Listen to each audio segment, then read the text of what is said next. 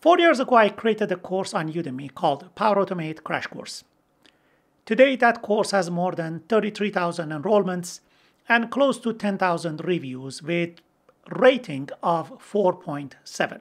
So I call it a success, and still today, that's my best selling course among all the courses that I have on my Udemy arsenal. But four years is a long time when it comes to technology. So it was about time to have an upgraded version of the same course. Things have changed quite a bit. So just patching that course with the new updates, well, does not cut it. So here's a new one. The new course involves Copilot, AI Builder, and new designer. And you know what? Let me show you the course roadmap, then you decide whether this course is the right course for you.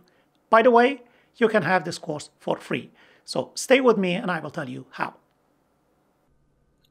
The course is released in December 2024, so it's well up to date for 2025 year. It has 10 sections, 66 lectures, and close to 10 hours of course. So I was a little bit ashamed to call it a crash course. Now, let's see what is inside it. Here is the course roadmap. This is a beginner level course. It assumes that you have no clue what Power Automate is and you just want to start, but it takes you all the way to AI features and everything that you can do with the AI Builder and some advanced features. No surprise, it's almost 10 hours. The course starts with what is a cloud flow and what it can do. So a very basic introduction of the bare minimum flow that you can make. After that, we get into flow triggers and types. Flow types are defined by triggers. By the way, we only work with the cloud flows. I'm not getting into business process flow. I have quite a few lectures in my model driven app course. Here we only talk about different cloud flows.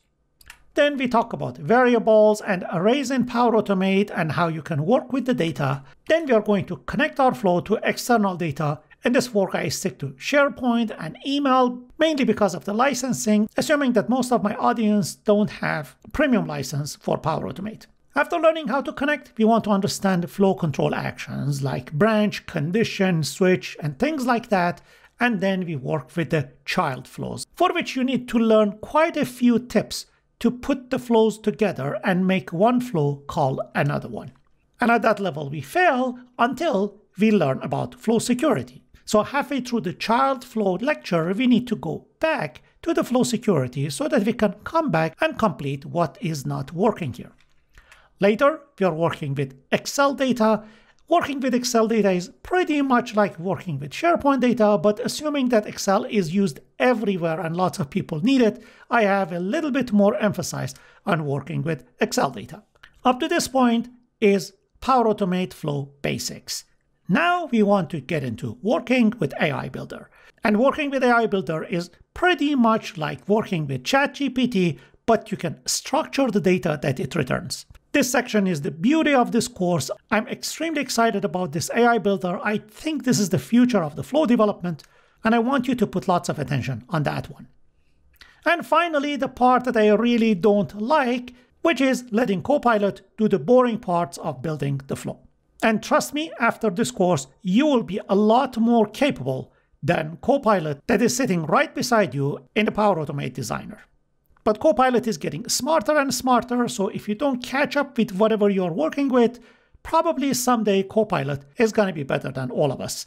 Till then, we have a job. And after we are done, guess what? We need to celebrate. And if you have taken my previous courses, you know what it means. I'm not going to talk about it at this stage.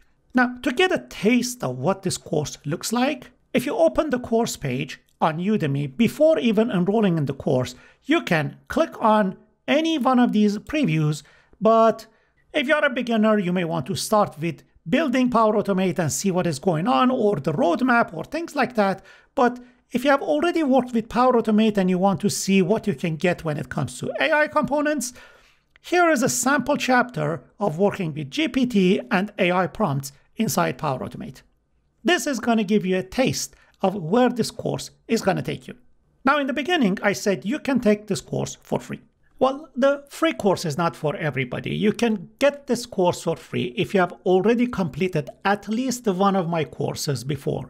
And by that, I mean, if you go to my public profile on Udemy, I have a list of 14 courses in the past. Almost any one of them, if you complete the course, you will get a certificate from Udemy. I want you to take a screenshot of that certificate.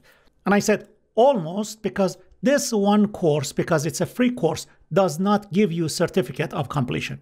So after you get the screenshot of your certificate, now you need to post this certificate under the comments in my LinkedIn post related to this promotion. The direct link to this post is in the video description. Just click on it. You'll be here. Go to the comments section and add your comment with your certificate attached to it. I will get back to you with a free course coupon for building Power Automate cloud flows faster with AI. And finally, Christmas is right around the corner. New Year is coming, and depending on which part of the world you live, you may have long holidays or you may not. Regardless, you may decide to travel, you want to stay home, you want to party, meet friends, or you may pick the boring option of following your New Year resolution and staying home learning Power Automate, AI Builder, and Copilot Studio. Well, I don't want to judge you, but if you decide to pick the last option, you have the material and you know how to spend your holidays. I'll see you soon on Udemy.